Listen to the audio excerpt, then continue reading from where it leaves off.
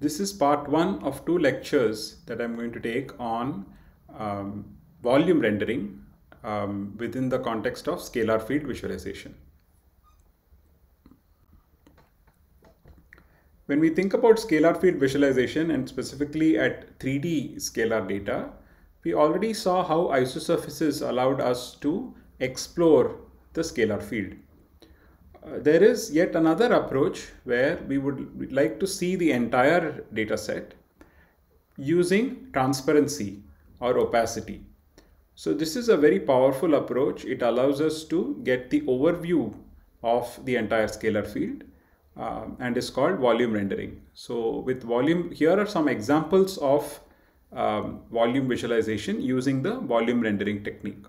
Notice how in the tooth we are able to see through the entire volume and yet um, clearly uh, um, highlight different aspects of the uh, tooth. Uh, the same holds for the other pictures. The technique that we are going to study is called direct volume rendering. Um, isosurface extraction is often uh, referred to as indirect volume rendering, where we are visualizing or rendering the volume indirectly by, via extracting isosurfaces. In contrast, the, the approach that we are going to study today is going to uh, use a direct mapping of the underlying 3D data and it is going to use a transparent or a translucent gel um, to represent the uh, volume um, so that we can get an overview. So the idea is that um, we associate different properties to this translucent gel, uh, properties that depend on the scalar values and hence um, obtain a interesting and useful visualization of the volume. So volume rendering essentially considers the volume as a translucent gel. Rays are sent through into the volume um, and these rays accumulate colors and opacity um, where the colors and opacity are determined based on the scalar values at the points along the ray. So essentially for each um, pixel that um, we have in the image plane, you again shoot a ray from the eye towards that particular pixel and this ray goes into the volume through an entry point and, uh, and uh, exits the volume through an exit point. Between the entry and exit points, we sample the ray at, let's say, regular intervals. The scalar values at those sample points um, are used to determine different colors at each point. These colors are composited to obtain the color for corresponding to the pixel that defined the ray in the first place. This is the approach that we will employ for volume rendering. So this particular approach for volume rendering um, is often referred to as ray casting. Um, unlike ray tracing, where we recursively trace the ray, here we are looking at essentially a single ray and just casting it into the volume. So there is no recursion here and hence the uh, method is simpler than the ray tracing approach. We sample the ray um, to begin with uh, uniformly along the ray. There are sophisticated techniques that consider non-uniform sampling as well.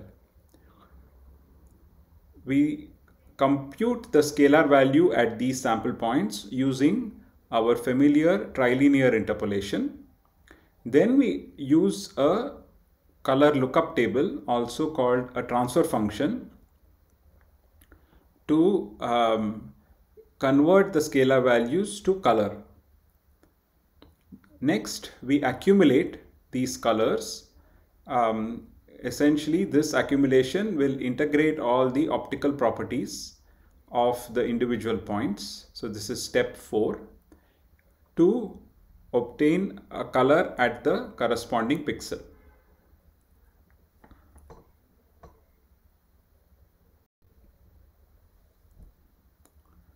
So uh, like I mentioned, the accumulation of the color is essentially an integral. The total color, the total accumulated color depends on the sampled colors along the ray together with the transmittivities or the opacity at each of those points. Both the color and the transmittivity or opacity is determined by a transfer function that maps every scalar value to a color and a transmittivity. So given these values C sub i and T sub i, the total color is essentially an integral over the ray of C sub i multiplied by T sub i. The transmittivity, transmittivity T sub i here is essentially um, just the 1 minus opacity. It corresponds to transparency. Of course, for um, practical purposes, we do look at discrete versions where the integral is approximated using a discrete sum. The color is now C bar equals the summation of C sub i T sub i. Again note that T the transmittivity is 1 minus the opacity. The opacity uh, at every point depends on the previous sample points. This is crucial. So essentially the um, uh, opacity at a, at a particular um, point i, uh, a sub i, um, depends on the how much color is allowed to be transmitted through all the points j equals 1 to n. So the opacity um, A sub i can now be written as 1 minus the product of all these transmittivities uh, for all points j equal to 1 to n. And this expression can be plugged in to the expression for C bar to give us the color at a particular um, point. Um, and um, summing this up over all sample points on the ray, we get the color at the pixel um, uh, corresponding to that ray. Finally, uh, the transfer function um, essentially uh, allows us to map scalar values on the x-axis to uh, the RGB red, green and blue components of color and opacity shown here in black. So the, uh, the transfer function is essentially a combination of four um, 1D functions, one for R, G and B components and the other fourth one for the opacity. Designing this transfer function is one of the uh, important challenges in um, volume rendering. The histogram of the scalar field is often used to design the transfer function, uh, especially if it is done by an expert user.